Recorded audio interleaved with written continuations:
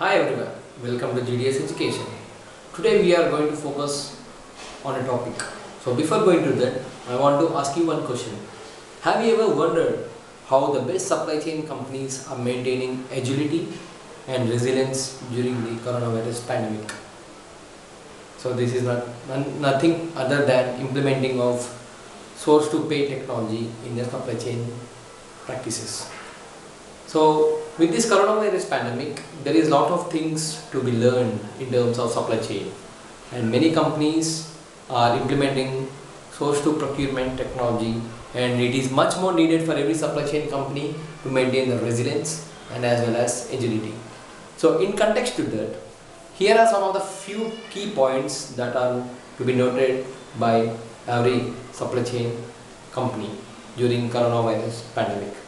So the first one and the basic level is gathering the data of your supplier and management firm decisions. And the second one lies in managing the complexity of the network with your direct material suppliers. And the third one always lies between risk and performance management. How do you maintain your performance during the pandemic sessions? And the final one is uh, developing the suppliers, which includes maintaining and developing the strategies and as well as implementing these strategies in a phased manner or in a strategic manner. So these are the key points that need to be noted for every supply chain company.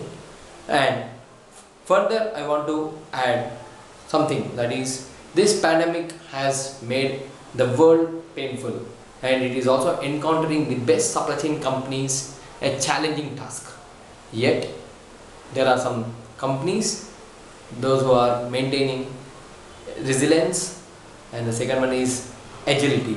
And this is only possible when you implement or deploy the source to pay or source to procurement technology in your supply chain.